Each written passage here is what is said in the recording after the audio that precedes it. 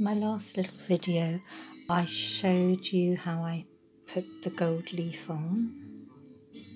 Now, um, I let it dry for a whole day and I'm just going to scratch away the surplus gold leaf like this. See what we have underneath. This is always quite exciting. See if it's worked properly.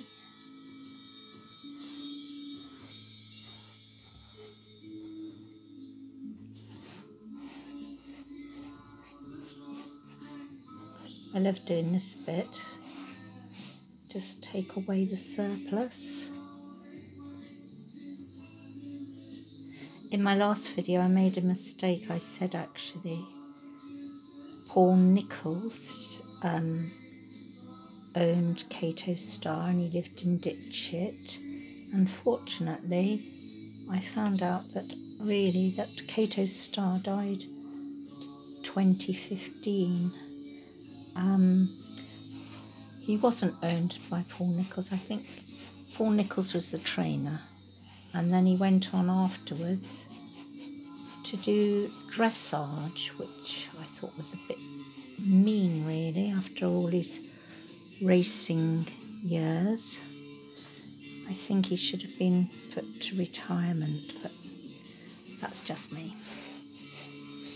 We all have different ideas of things, and I guess if you own these animals, you you want them to go on and do different things.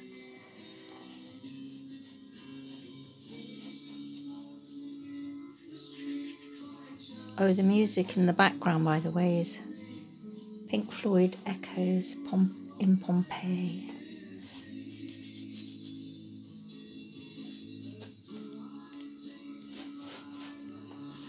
So there we are.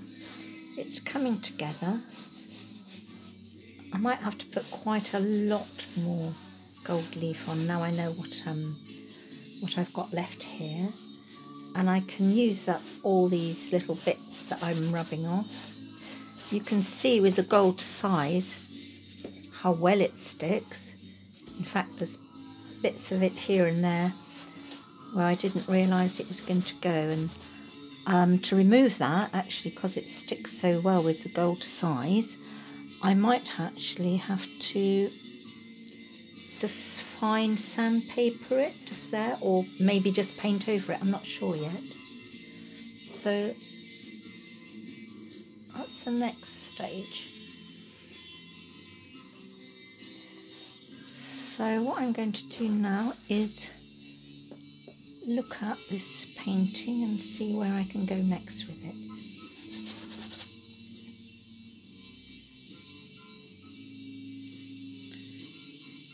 It's looking quite lovely actually, the gold leafing.